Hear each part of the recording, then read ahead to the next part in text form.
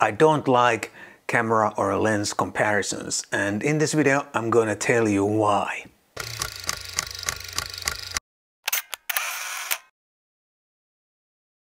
Hi guys, my name is Matti Sulanto and I'm a photographer. Quite often people, you, my audience that is, ask me to compare two or more different cameras or lenses. And indeed, in the past I have made some comparison videos, but I'm not too crazy about them. And in this video I'm going to share four reasons why I generally do not like to do comparisons.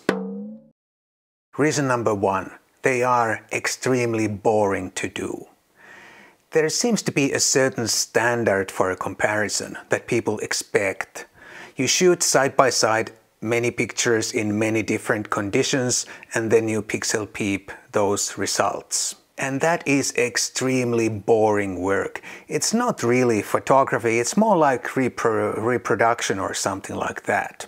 It is very time consuming and you have to be really super careful with your procedures so that you do everything correctly. There are so many settings to check uh, with cameras or lenses to make sure that you are doing everything correctly so that the results are comparable. You have to be super careful because people are buying gear based on your uh, comparison. And it's very easy to forget one tiny little setting somewhere in the menus or wherever and then you're already halfway into a comparison and uh, you realize that oh darn I forgot that and then you have to start all over again. And sometimes you go back to your office, your home and check out the results on a big screen and then you realize that one of the um, uh, lenses or cameras looks suspiciously bad. And then you have to go out and redo the whole comparison just to make sure that uh, the, the first results are valid. Because you don't want to tell people that uh, this camera lens is bad uh, unless you are absolutely sure that it is as bad as it looks. Because, like I said, people buy gear based on your uh, comparison.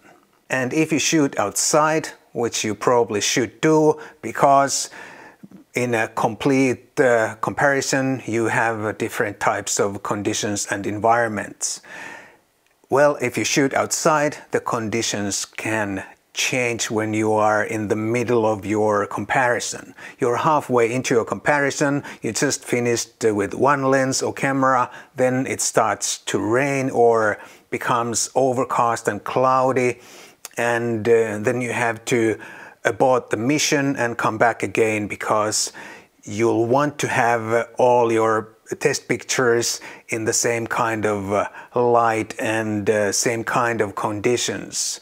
If one picture is shot in the sunshine and one is shot in the rain, those two pictures are not really comparable and your audience is not gonna like that. So all in all, it's time consuming and rather boring work and I'd much rather spend my time shooting some real pictures and enjoy my photography while I'm at it. Reason number two, there is always something wrong with your comparison.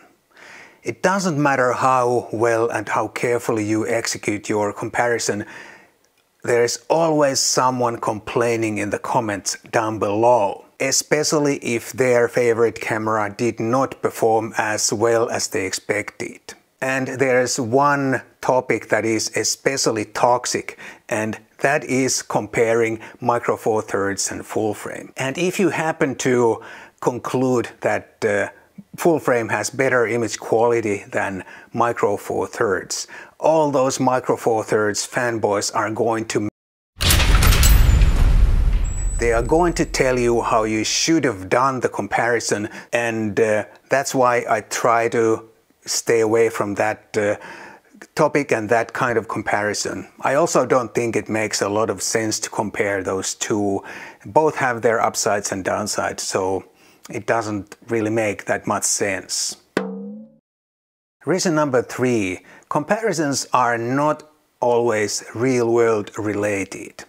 no matter how you do uh, a comparison, it may not have uh, much to do with real world photography. Because in real world, you only can use one camera at a time. You can only capture that uh, decisive moment with one camera. Unless you have some uh, special rig with seven cameras, but who really shoots like that? It's not real world photography. And if you are happy with the results, then it's all good. And if you're not happy with the results, you can only guess what would have happened with another camera or another lens. You can only guess if another piece of gear could have saved the shot. You can never be sure because that uh, decisive moment, that particular moment will never ever happen again. And even a comparison winner camera or lens won't work if you don't like that lens or camera. We all have our preferences and they are very personal and uh, even if a camera wins uh, a comparison or a lens wins a comparison, it still may not work for me or for you. At least I like some cameras and lenses that uh, are not test winners. One example is the Zeiss Loxia 35mm f2. I'll put some pictures here on the screen while I talk. I used to own that lens uh, some time ago and I really liked that lens. It was awesome in my opinion. But when you look at any test or comparison, it doesn't look like a winner. If I like a piece of gear, I really don't care how the test results look if there are some results available for that particular piece of gear. And as a matter of fact, if I need to buy a new camera or a new lens, I don't look at so many tests or comparisons.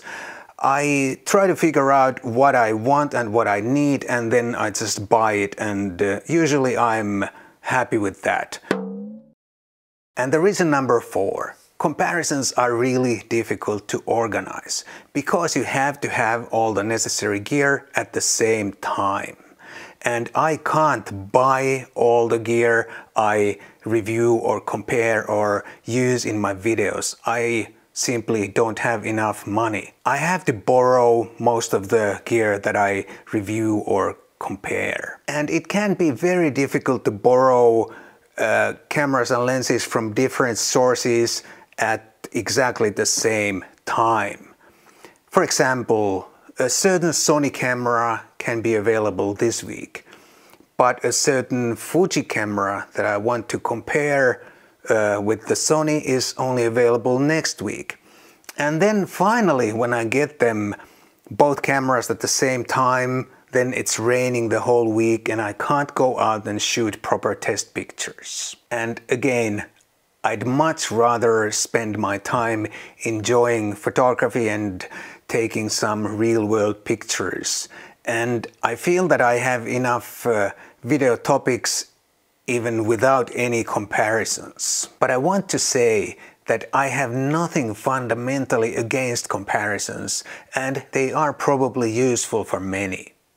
And if someone really enjoys doing comparisons and someone else really enjoys looking at comparisons, then it's all good. Supply meets demand. However, I would much rather do something else than comparisons. But I'm not saying I'm never ever gonna make another comparison. I might just do one if uh, the right gear comes along in the right kind of circumstances. And now let me remind you of our 2023 workshop, link down below. Please check it out if you'd like to become a better photographer and a better storyteller. And if you found this video useful, entertaining or amusing, please consider buying me a cup of coffee. There's a link down below also for that.